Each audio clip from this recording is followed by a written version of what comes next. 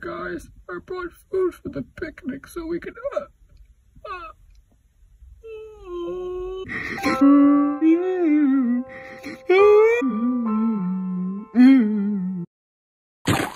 Oh no, my wall!